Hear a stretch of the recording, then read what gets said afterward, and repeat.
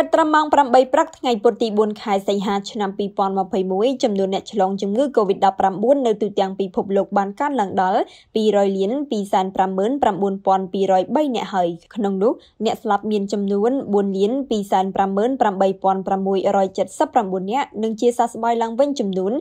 180លាន526,747អ្នកយោងតាមទិន្នន័យពីគេហទំព័រអន្តរជាតិ Worldometer បានបង្ហាញថាការរីករាលដាលនៃជំងឺ Covid-19 នៅតែមានសភាពស្រួចស្រាវចំនួនអ្នកឆ្លងនិងស្លាប់ថ្មីនៅតែមានចំនួនច្រើន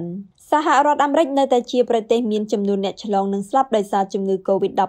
ច្រើនជាងគេសហរដ្ឋអាមេរិកមានអ្នកឆ្លងជំងឺ Covid-19 ចំនួន